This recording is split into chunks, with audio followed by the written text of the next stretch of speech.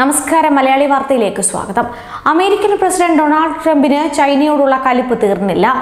ഓരോ നിമിഷവും ട്രംപിന് ചൈനയോടുള്ള പക വർദ്ധിക്കുകയാണ്. പുതിയ പ്രസ്താവനയും ആ സത്യത്തിലേക്ക് വിരൽ ചൂണ്ടുകയാണ്. അമേരിക്കയിലെ കൊറോണ പ്രതിരോധം ശക്തമാണെന്നും ഇത് മനുഷ്യൻ സൃഷ്ടിച്ച ഭയാനക പ്രതിഭാസമാണെന്നും ഡൊണാൾഡ് ട്രംപ് പറഞ്ഞു. ചൈന അമേരിക്കയോട് കാണിച്ച ഈ ക്രൂരത പൊറുക്കില്ലെന്നും ട്രംപ് മുന്നറിയിപ്പ് നൽകുകയും ചെയ്തു. തെരഞ്ഞെടുപ്പ് പ്രചാരണത്തിന്റെ ഭാഗമായി ഫ്ലോറിഡയിലെ ഒഗാലയിലാണ് ഇന്നലെ ട്രംപിന്റെ പ്രചാരണ പരിപാടി നടന്നത്. കൊറോണ ലോകം മുഴുവൻ പരത്തിയത് ചൈനയാണ്. എന്നാൽ ചൈനയ്ക്ക് എന്താണ് സംഭവിച്ചതെന്ന് ആർക്കും ഒരു അറിവുമില്ല. ആരും ഇതുപോലൊരവസ്ഥ കണ്ടിട്ടില്ല. ഇത്തരം ഒരു സാഹചര്യം ഉണ്ടാകുമെന്ന് ആർക്കും യാതൊരു പ്രതീക്ഷയുമില്ലായിരുന്നു. എന്നാൽ പ്ലേഗിനെ ഇല്ലാതാക്കിയതുപോലെ നാം ഇതിനെയും നശിപ്പിക്കും. രണ്ടു ലക്ഷം പേരെ നമുക്ക് നഷ്ടമായിരിക്കുകയാണ്. ചൈന നമ്മോട് കാണിച്ച ക്രൂരത നാം ഒരിക്കലും മറക്കില്ല എന്ന് ട്രംപ് വ്യക്തമാക്കി. പാൻഡമിക് ചൈനയുടെ മാത്രം തെറ്റാണെന്ന് ട്രംപ് ആവർത്തിക്കുകയുണ്ടായി. ഇതുവരെ രണ്ട് ലക്ഷത്തി പതിനേഴായിരം അമേരിക്കൻ മരണങ്ങൾ ഉണ്ടായിരുന്നിട്ടും ദശലക്ഷക്കണക്കിന് ജീവൻ രക്ഷിക്കുമെന്ന കാര്യം അദ്ദേഹം ചൂണ്ടിക്കാട്ടി. പരാതികളുടെ പ്രളയത്തിനിടയിലും പുതിയ ഉത്തേജകം പാക്കേജുകളൊന്നുമില്ലെന്ന് വ്യക്തമാക്കി.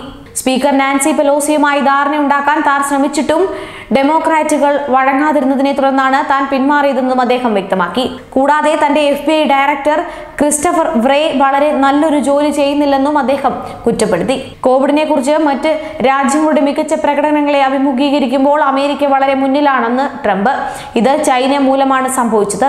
നിങ്ങൾ അത് മനസ്സിലാക്കണമെന്നും ട്രംപ് പറഞ്ഞു. കുട്ടികളെ ദുരുപയോഗം ചെയ്യുന്ന പൈശാചിക ആരാധനയുടെ ഭാഗമാണെന്ന് ഡെമോക്രാറ്റുകൾ വിശ്വസിക്കുന്ന ക്യു അനോൺ സിദ്ധാന്തകരെ നിരാകരിക്കുന്നുണ്ടോ എന്ന് ചോദ്യം ചെയ്തപ്പോൾ ട്രംപിന്റെ ഉത്തരം അവ്യക്തമായിരുന്നു. ക്യു അനോൺ മെറ്റീരിയൽ റീട്വീറ്റ് ചെയ്തതും ചോദ്യം ചെയ്യപ്പെട്ടു. അതോടെ തന്റെ ഇഷ്ടപ്പെടുന്ന ഒരു ഗ്രൂപ്പിനെ കുറിച്ചുള്ള എല്ലാ അറിവും ട്രംപ് നിഷേധിച്ചു. അവർ ഒരു പൈശാചിക പീഡന ആരാധന നടത്തുന്നില്ല.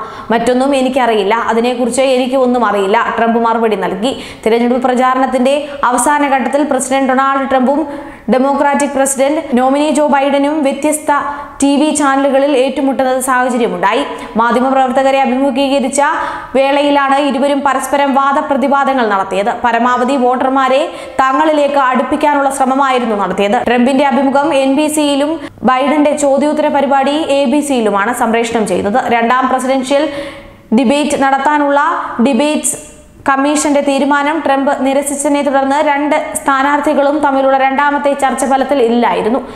ഇതിനെ തുടർന്നാണ് ടൗൺ ഹാളിൽ ട്രംപ് മാധ്യമപ്രവർത്തകരുടെയും പ്രേക്ഷകരുടെയും ചോദ്യങ്ങൾക്ക് മറുപടി പറയാനെത്തിയത്. ന്യൂസ് ഡെസ്ക് മലയാളി വാർത്ത.